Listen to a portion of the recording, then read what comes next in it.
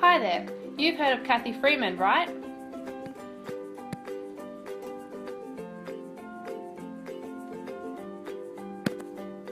Cathy Freeman is one of Australia's most iconic and successful athletes. With an outstanding career including Olympic medals, Cathy has always been an avid supporter of equal rights for Indigenous people throughout her career.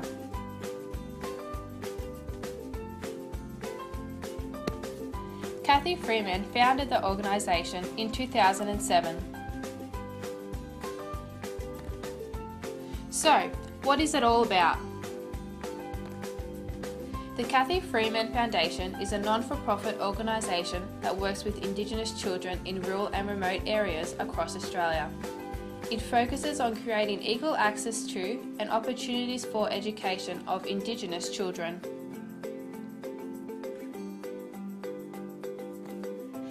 Foundation's mission is to create a positive school experience and give every Indigenous child the chance to reach their full potential, as well as creating an Australia in which everyone has equal education and opportunities regardless of your background or how isolated your community may be.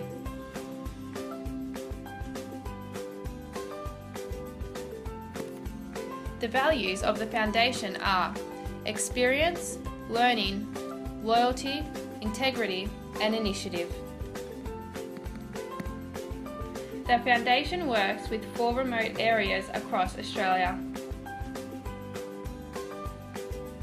Palm Island in Queensland.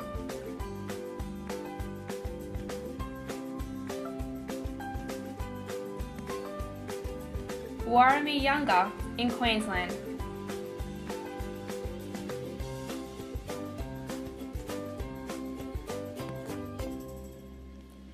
Galiwin'ku in Arnhem Land, Northern Territory.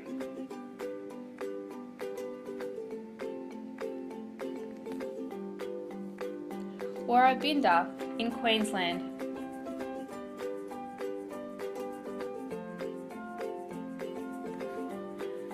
Palm Island was the first community to create a partnership with the Foundation. The program aims to create motivation for attending school as well as learning and building confidence.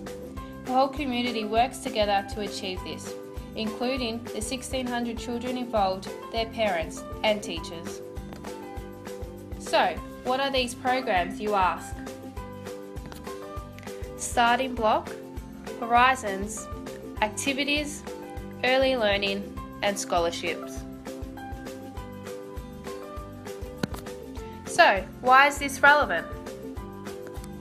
In 2011, only 54% of 20 to 24 year old Indigenous adults attain Year 12 or its equivalent.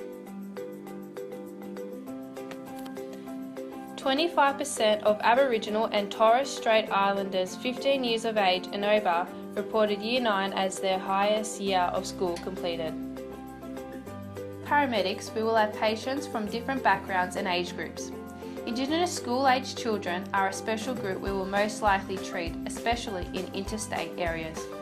We should aspire to recognise their challenges and differences in our care for these patients.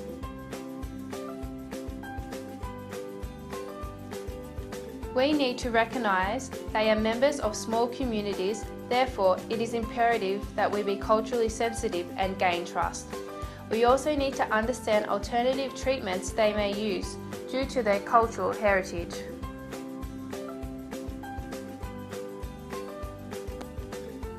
So, what does this mean? Through these programs, children of these remote communities can also have a better understanding of what we do as paramedics and in the ambulance services across Australia.